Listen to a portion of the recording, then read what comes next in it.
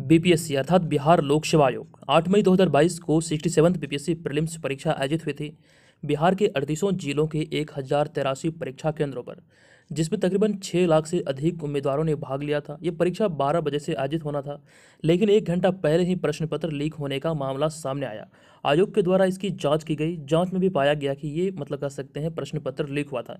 इसकी पुष्टि के बाद परीक्षा को रद्द किया गया था और अभी हाल ही में एक टीम का गठन किया गया था, जिसके बाद यहाँ पर आपको बता दूँ, एक गिरफ्तारी का मामला सामने आया है। अब ये गिरफ्तारी किन की हुई है?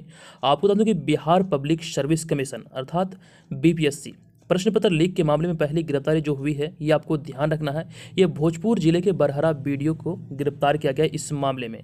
इनका नाम है बीडीओ जयवर्धन गुप्ता, जो कि वीर कुंवर सिंह के कॉलेज में एग्ज़ाम सेंटर मजिस्ट्रेट थे और यहीं से प्रश्न पत्र लीक होने का मामला सामने आया था। यह पहली गिरफ्तारी है और आपको बता दूँ कि बिहार में बीपीएससी जैसे परीक्षाएँ पे कह सकते हैं, बीपीएससी परीक्षा का जो मतलब कह सकते हैं प्रश्न पत्र लीक का मामला सामने आया था। पहली बार यह परीक्षा रद्द हुआ था। ऐसे में ये पहली गिरफ्तारी हुई है। इस विषय पर बिहार सरकार को टारगेट करते हुए आप क्या कहना चाह रहे हैं, आप कमेंट बॉक्स में लिख सकते हैं। हमारे माध्यम से आप अपनी बातों को पहुँचा सकते हैं। तो आप लोगों के मन में जो भी सवाल है, जो भी डाउट है, किसी भी प्रकार की कोई बातें चल रही है तो आप यहाँ पर कमेंट बॉक्स में ज़रूर लिखें।